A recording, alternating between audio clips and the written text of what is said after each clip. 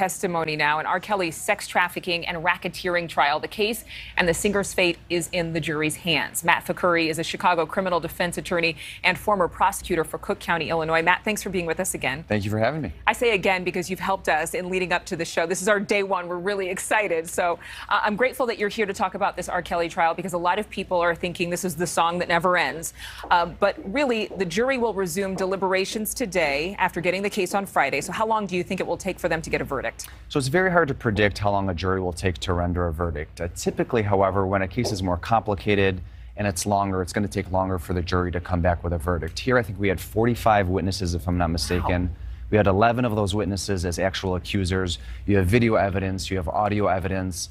You have 14 underlying accounts in addition to the racketeering charge, which is typically very complicated to have to wrap your brain around. So I'd be surprised if they come back anytime soon. You did a whole lot of calculating and tabulating of those numbers. That was impressive. And, and that's a lot of things to take into consideration. But a couple of hours into the deliberations, it looked like the jury sent the judge a note asking to review the transcripts of a woman who says that R. Kelly sexually assaulted her way back like 17 years ago when she was a 21 year old intern. So, you know, after listening to all these weeks of testimony, all these witnesses, what more can that do? I mean, do, does the judge or do, does the jury need any more information in order to kind of create a case that this is uh, sketchy, that this was shady? So the judge will typically not give them a transcript, even though they're requesting it. The judge will issue an instruction telling them to rely on their collective memories, right?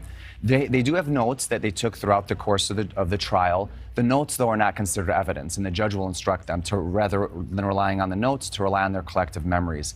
Any actual evidence that was properly admitted during the course of the trial, you know, whatever it is, a video, audio, or, or whatever it is, will go back to the jury, and that should be enough for them to review.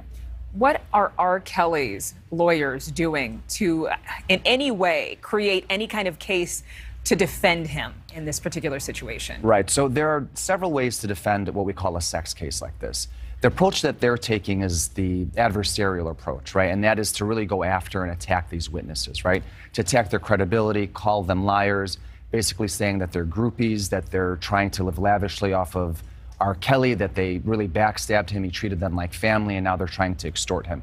I don't know if that's the best approach in a sensitive case like this. There are other approaches. You could say that he didn't actually know they were minors at the time, or another defense perspective is to say that he actually um, he did have sexual relations, but it was at a time when they were actually of the majority, not the minority, and that these witnesses were wrong on the dates because they happened so long ago. But they're taking a very adversarial approach to this. Is there anything that could be done to basically clear his name at this point?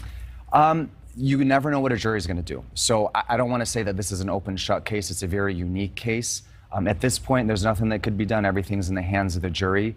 But uh, you never know what a jury may or may not do. So that's the beauty of the criminal justice system. All right, Matt, thank you for being with us. Thank you for having me. My pleasure. We look forward to seeing you many more times right here. I hope so. My